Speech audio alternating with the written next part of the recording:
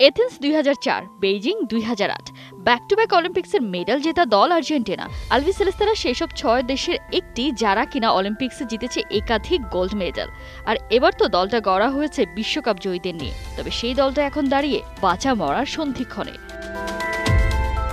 ফুটবলে আর্জেন্টিনার অলিম্পিক্স জার্নিটা শুরু হয়েছিল বিতর্কিত এক ম্যাচ দিয়ে। মরক্কোর ভক্ত সমর্থকদের বোতল ছোড়া আতসবাজি নিক্ষেপ, এরপর বিতর্কিত ভিএআরে গোল বাতিল।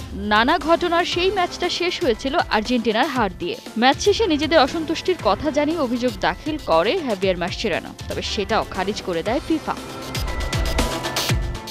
হার থেকে ঘুরে দাঁড়িয়ে ইরাককে চারেক গোলে হারিয়ে আশা বাঁচিয়ে রেখেছে আর্জেন্টিনা। প্যারিস অলিম্পিক্সে পরের রাউন্ডে যাওয়ার মিশনে এবারের সাবেক গোল জয়ীদের প্রতিপক্ষ ইউক্রেন। মঙ্গলবার বুদাপেস্টের গ্রুপামা স্টেডিয়ামে লড়বে এই দুই দল।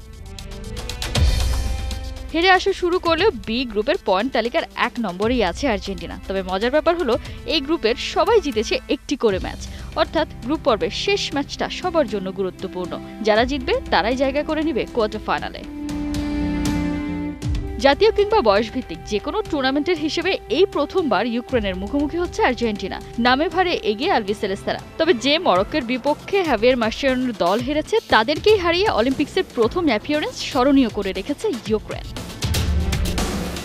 গ্রুপ পর্বের শেষ ম্যাচে অপরিবর্তিত একাদশ নিয়ে মাঠে নামতে পারে আর্জেন্টিনা। ফ্রন্ট লাইনে আলমান্দা, সিমিয়ন আর হুলিয়ান আলভারেস। মিডফিল্ডে মেদিনা হেজে ফার্নান্দেস। দলের একই সাথে ডিফেন্সের নেতৃত্বে যথারীতি থাকছে নিকোলাস ওতামেন্দি